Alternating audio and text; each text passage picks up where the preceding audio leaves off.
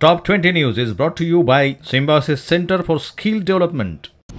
नमस्कार, स्वागत है आपका एनबीसी न्यूज़ पर। आज के टॉप 20 में मैं हूँ आपके साथ भाग्यश्री। हरियाणा से बड़ी खबर सामने आ रही है। सूत्रों के मुताबिक बीजेपी और जेजेपी का गठबंधन टूट गया है। विधायक गोपाल कांडा का भी बयान सामने आया है। उन्होंने कहा है कि गठबंधन लगभग टूट चुका है। 10 की सीट बीजेपी जीतेगी। अहमदाबाद में प्रधानमंत्री नरेंद्र मोदी ने 10 नई वंदे भारत ट्रेनों और अन्य ट्रेन सेवाओं को हरी झंडी दिखाई। प्रवर्तन निदेशालय ईडी की टीम आज सुबह से रांची में कई ठिकानों पर छापेमारी करी है। जानकारी के मुताबिक ईडी की टीम कांग्रेस की महिला नेता और बड़का गाँव विधायक अंबा प्रसाद शशि भूषण सिंह समेत कई अन्य लोगों के कुल सत्रह ठिकानों पर छापेमारी करी है। खालिस्तानी गैंगस्टर लिंक मामले में एनआईए ने पंजाब, हरियाणा, राजस्थान और मध्य प्रदेश में 30 स्थानों पर रेड मारी है।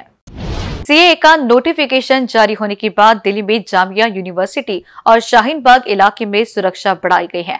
जानकारी के मुताबिक जामिया के छात्रों को प्रदर्शन को लेकर भड़काया जा सकता है। जामिया इलाके में आरएएफ की अतिरिक्त फोर्स पहुँची है।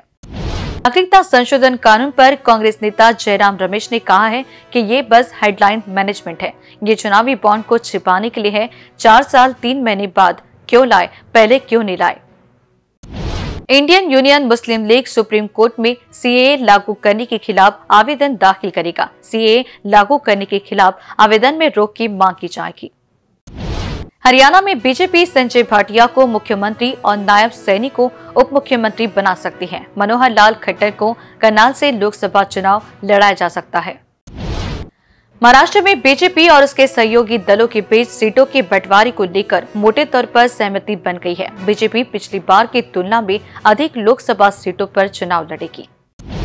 गुवाहाटी पुलिस ने उन राजनीतिक दलों को कानूनी नोटिस दिया है, जिन्होंने सीए के विरोध में असम में सर्वतमक हड़ताल का आह्वान किया है। इलेक्ट्रोलर बॉन्ड की खरीदी बिक्री से जुड़ी जानकारी उम्मीद की जा रही है कि आज भारतीय स्टेट बैंक, यानी एसबीआई चुनाव आयोग को सौंप देगा। पश्चिम बंगाल प्रदेश कांग्रेस अध्यक्ष अधीर रंजन चौधरी ने एक बार फिर पश्चिम बंगाल की मुख्यमंत्री ममता बनर्जी पर हमला बोला है। अधीर रंजन चौधरी ने मुख्यमंत्री ममता बनर्जी को आगामी लोकसभा चुनाव में बैरामपुर लोकसभा सीट से लड़ने और उन्हें हराने की चुनौती दी है। नेशनल ट्रायल्स में विनेश फोगाट को करारी हार का सामना करना पड़ा है। विनेश फोगाट को अंजू ने शून्य दस से हरा दिया है। इस हार के बाद पेरिस ओलंपिक से विनेश फोगाट का पता कट सकता है। दिल्ली में गर्मी ने सोमवार को अपना ट्रेलर दिखा दिया है। अधिकतम तापमान 31 डिग्री सेल्सियस को पार कर गया है। यहाँ से अब धीरे धीरे गर्मी और बढ़ने वाली है। अमेरिका के ओहायो में श्रेया घोषाल के सम्मान में हर साल श्रेया दिवस मनाया जाता है। जी हाँ साल 2010 में जब श्रेया गर्मियों के दिनों में अमेरिका का दौरा करने गई थी, तब ओहायो के गवर्नर ट्रेड स्ट्रिकलैंड ने श्रेया घोषाल डे के रूप में मनाने का ऐलान किया था। अर्जुन बिजलानी की हाल ही में अपेंडिक्स की सर्जरी हुई है। वहीं अब एक्टर को अस्पताल से डिस्चार्ज मिल गया है। इसी बीच एक्टर ने अपने घर से कुछ तस्वीरें शेयर की है। प्रकाश आम्बेडकर ने कांग्रेस राष्ट्रीय अध्यक्ष मल्लिकार्जुन खड़गे को पत्र लिखा है। उन्होंने महाराष्ट्र में सीट शेयरिंग में हो रही देरी को लेकर चिंता ज़ाहिर की है। सीए नोटिफिकेशन के समय पर शरद पवार ने सवाल खड़े किए हैं। उन्होंने कहा कि सीए का फैसला चुनावी बॉन्ड पर विवाद से लोगों का ध्यान भटकाने के लिए लिया गया है। देश में नागरिकता संशोधन अधिनियम लागू हो गया है। इसको लेकर शिवसेना उद्धव गुट के नेता संजय राउत ने कहा कि सब करके हिंदू मुसलमान करेंगे, भारत बांग्लादेश करेंगे।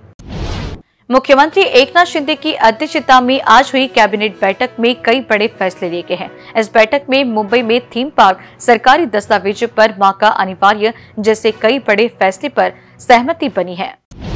ये थी आज की टॉप ट्वेंटी खबरें। खबरों का सिलसिला यूँ ही चलता रहेगा। आप देखते रहिए इन न्यूज़। नमस्कार।